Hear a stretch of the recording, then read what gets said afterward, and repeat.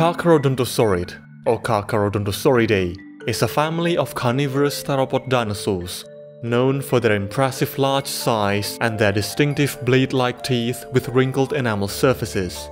The teeth are sharp, recurved, thin, and highly serrated, sharing a resemblance in sharpness and serrations to those of a great white shark's, hence the name. Although if you ask me, I don't think they look that similar, but it is what it is.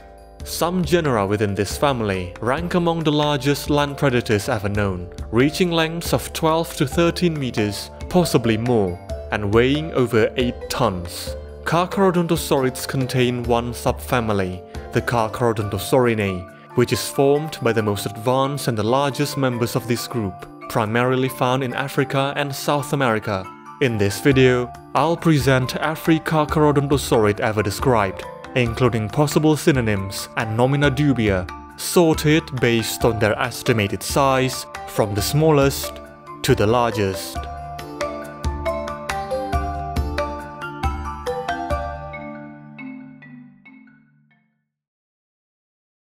Lajasvenator is a small-sized Carcharodontosaurid, less than 3 meters in length.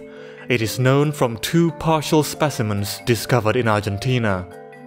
Lajasvenator was described in 2020 and was found to be one of the oldest Carcharodontosaurids from South America.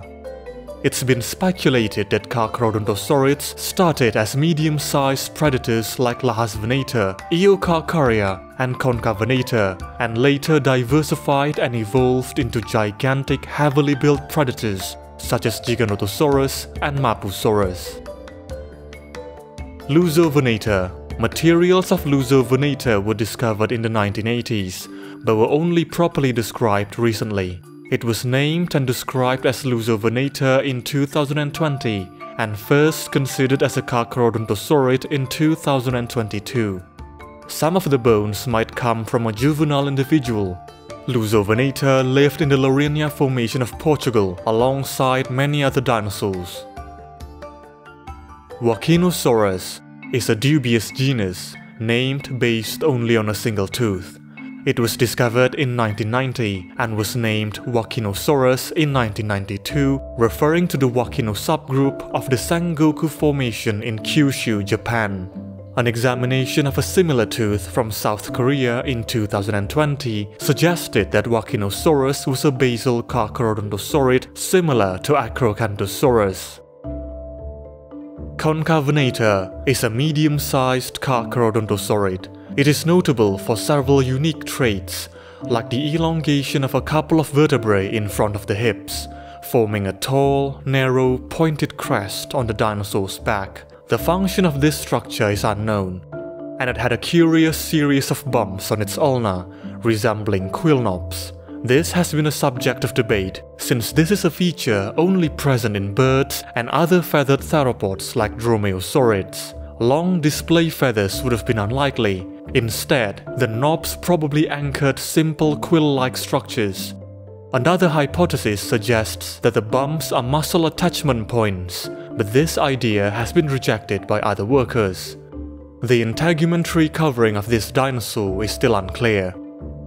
Concavenator was described in 2010 from a near-complete articulated skeleton recovered from limestone slabs from Cuenca province in Spain. This is one of the most complete and well-preserved Carcharodontosaurid fossils ever discovered, even containing scale impressions of the feet and tail of this dinosaur. Shaochilong is the first Carcharodontosaurid discovered in Asia. It was found in 1964 in Inner Mongolia initially described as a species of Chilantaisaurus, a larger theropod from a nearby geologic formation.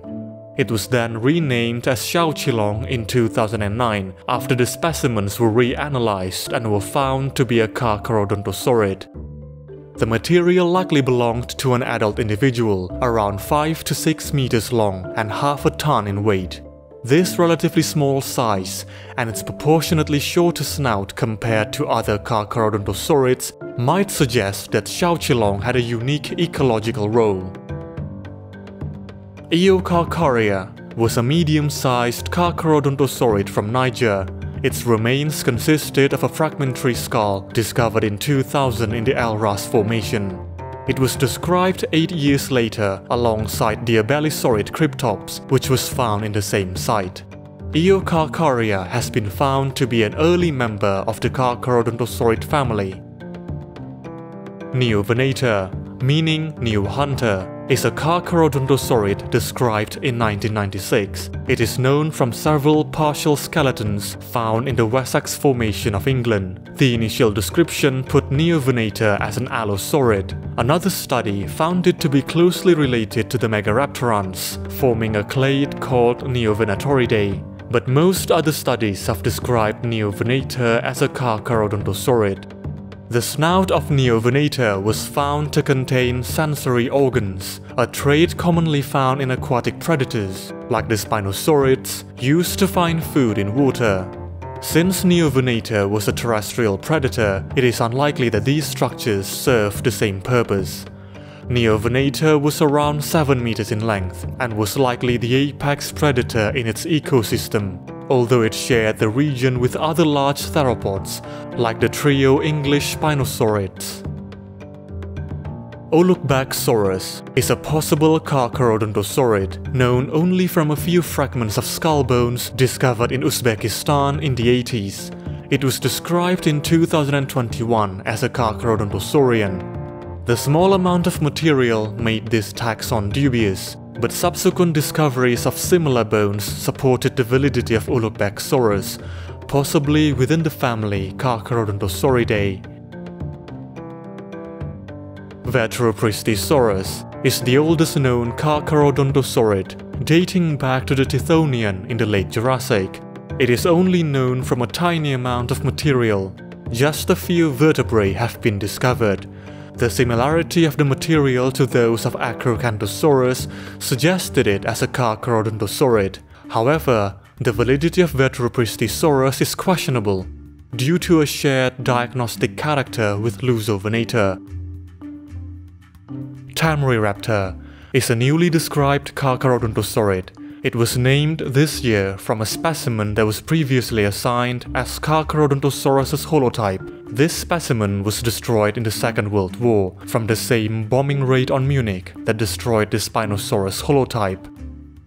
A subsequent review of previously undescribed photographs of the fossil material allowed researchers to recognize the bones as belonging to a distinct taxon in 2025. Workers found a distinct horn-like protrusion in the middle of the nasal bone. This and some other autapomorphies characterize the specimen to be a separate taxon but still related to Carcharodontosaurus.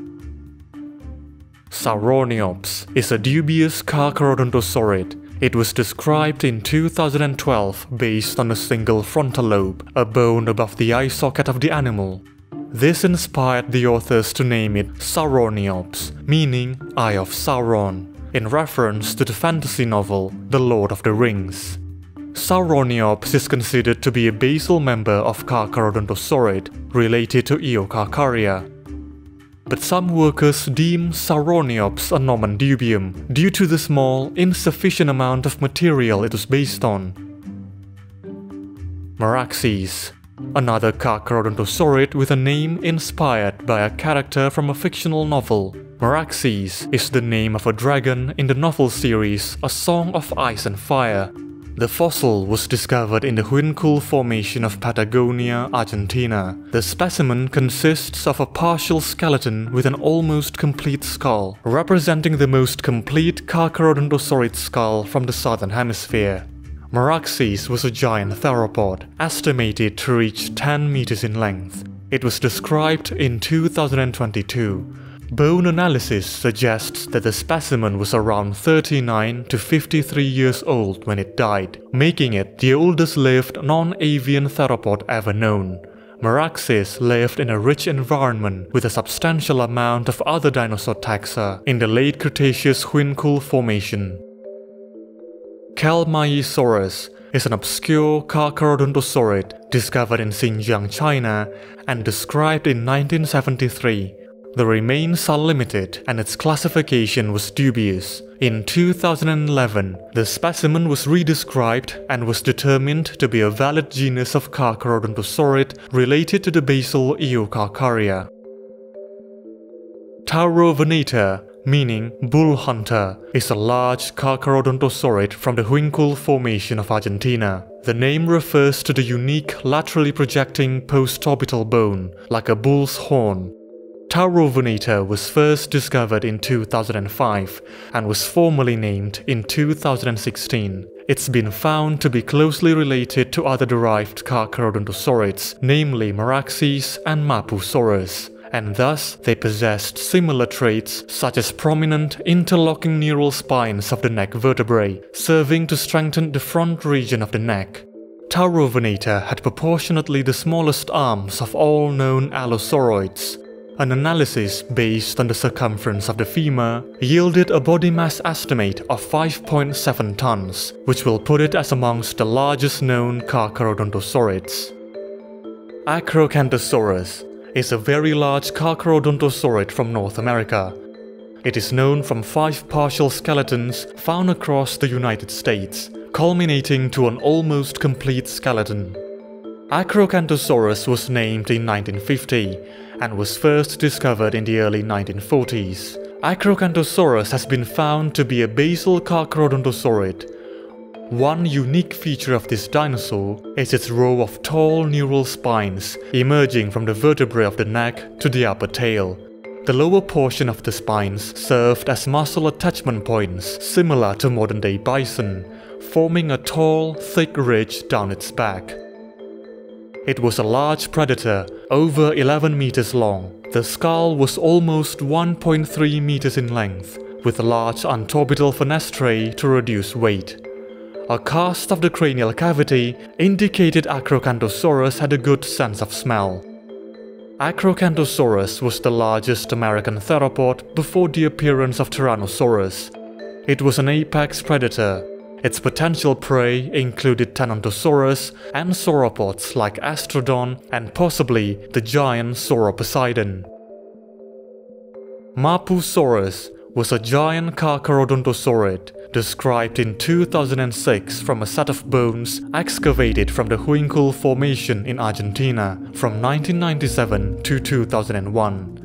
The bone bed where it was found contained at least 7 Mapusaurus individuals of varying size and age. This may represent a coincidental accumulation of carcasses caused by some kind of predator trap, or an indication of a pack hunting behavior. Workers have speculated that Mapusaurus may have hunted in groups to take down massive prey, like the contemporaneous behemoth Argentinosaurus. The Huincul Formation was home to a wide variety of dinosaurs, among the richest in Patagonia. It was an arid environment with seasonal streams, with diverse plant and animal life. Two other giant Carcharodontosaurids were also discovered from this formation, Meraxes and Taurovenator, though it is unlikely they coexisted, as all were found in different rock layers. Carcharodontosaurus was a massive theropod dinosaur with a skull measuring 1.6 meters, slightly longer than the largest Tyrannosaurus skull. Unlike the robust skulls of Tyrannosaurids, Carcharodontosaurid skulls were more slender and lightly built. It had large openings of or fenestrae, making it comparatively lightweight but less resistant to stress. Its teeth were dagger-like, sharp and distinctly thin designed to slice through flesh rather than crushing bone.